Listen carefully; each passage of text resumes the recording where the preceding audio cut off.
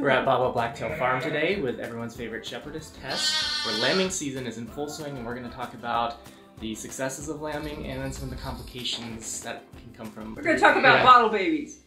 There we go.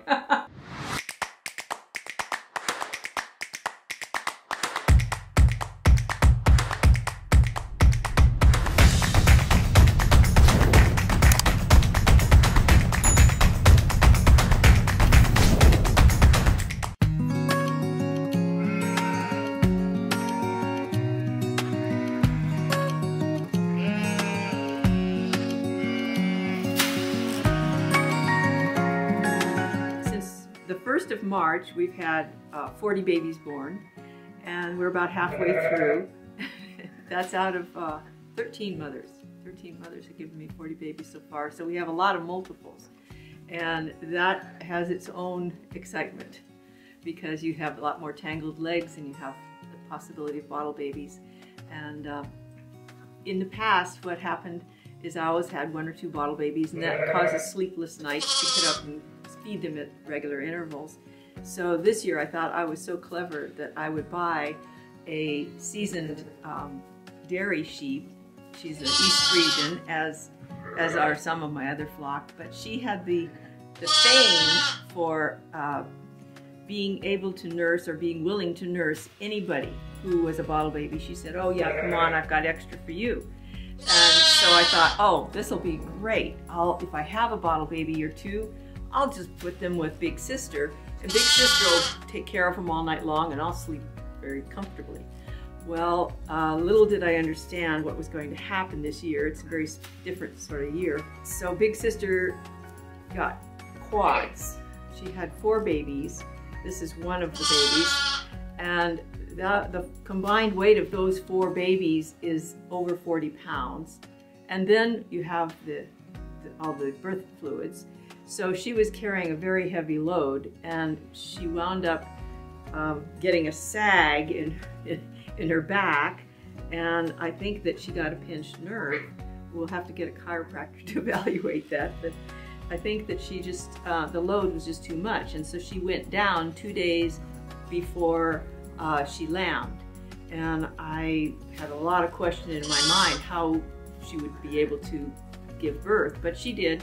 I did a little helping, but she managed. But her hind end is still not strong, though she has become very strong.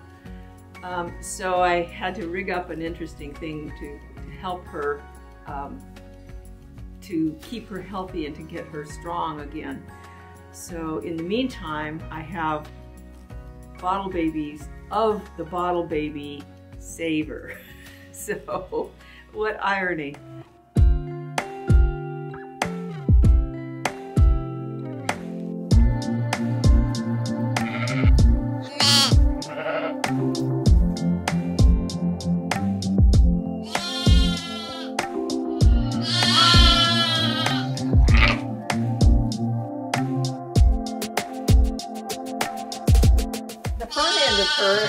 Is strong enough, but the back end is, she's just still not quite steady enough to get up, or not powerful enough to get up. So we tried various things. One friend who's an engineer, and she came and did this and put this up, and then another friend came and brought me this kind of stuff that I could make sort of a climbing harness. And so the gist of it is that every so often I need to um, lift her up and move her legs and move her to a clean place and make sure that her udder and her hygiene is good.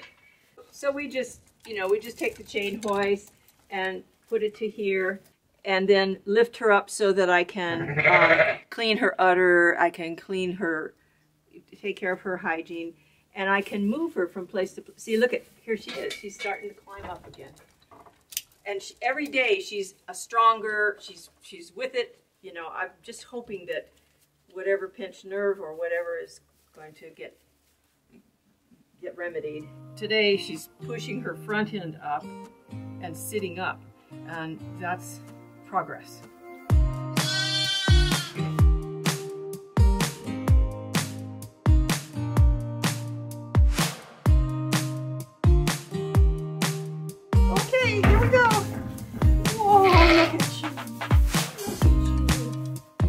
I, had to give them all little co different colors so that I could tell them apart, so I could find out who's who's eaten and what their needs are. Because a couple of them are voracious boys, a couple of them are more fragile, and then she's very determined. So they they have to get each what they need. And rather than giving them all of their ounces at once, I kind of give them about a third of it and then move to the next one. That way their tummies get accustomed to something in there. Oh yeah. So it's always important to make sure that the fluid is covering the whole exit. Those four are from Big Sister and this one is from Calico and Calico had triplets but she could only count two. So this particular baby wasn't doing well with Calico and uh, became a bottle baby, so she became a bottle baby baby in with the others. Babies! Woo, look at those babies! Look at there! She takes care of their hygiene, and I take care of their front end, the food, and uh, hopefully she will get up and back on her feet and be able to, you know, take them all around. Look at you. Look at you. Oh! 真的。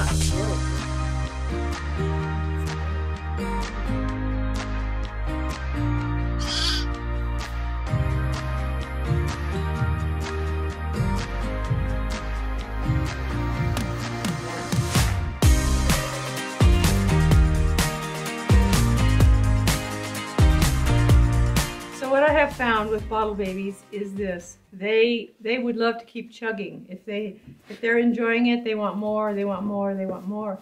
And then what happens is that you inadvertently feed them too much and their stomach becomes really um, stagnant and is not able to accommodate that much food. And they get what's called rubber rubber curd. And rubber curd inside means that they're it's like a piece of rubber and that it's not digesting. And so then they get the scours, and it's altogether a bad situation. So, how to prevent that? First of all, you have to discipline yourself to figure out just give them only what they need and as many times as possible during the day. So, in this book, you know, you have a, a schedule, and that schedule is really, really helpful. And then what what I did was to figure out my particular schedule for this because it you have to translate it from you know day one day one two and three you do such and such. Well what i did was i figured out okay sis- sisters four. They were born on march 7 so day one is march 7 8 9 so in those those days i have to feed every three hours. And then the next days i have to feed every four hours. And so it makes more sense to you rather than looking at the book and saying well, let's see that's how many days ago so just make yourself a chart. and then that tells you when, how often. And that's based on their date of birth and this schedule. So that is the when to do it. Um, how much to do it. that's another key thing. I weigh them, make sure how many pounds of animal I'm feeding, and figure out how many ounces I need per day and then divide that into four or six or you know two or whatever. And that is all here to make it useful for yourself. Figure out a chart kind of like that where you say on this on this day i have to feed these days these times. So what we did was we figured out the how frequent how frequently and we figured out how much based on their weight and the formulas in here. And then we have to think about what we're giving them. And they they generally don't do well with cow's milk because sheep's milk is a lot richer uh, in, in fats and so forth. But I am so fortunate. Thank you, Lily the cow, who's a dairy cow in my vicinity, and, uh, and Arlene and Roger have prepared dairy, uh, their dairy cow's milk with an added amount of fats in, and uh, protein and lactase and so forth, so that it makes a cow, a sheep, the closest approximation of sheep's milk. And so that's a really big boon. So I just shake that up, make sure that it's not cold, cold, and I've been using that. But if I didn't have that, and in previous years before Lily, the cow, was around, then we use milk re replacer. And there are various ones on the market. I, I find that mine prefer this taste.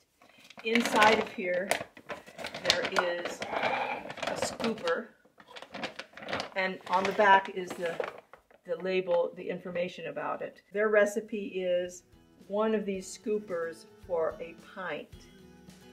So I use a cup, which is half a and so I use a half a scooper.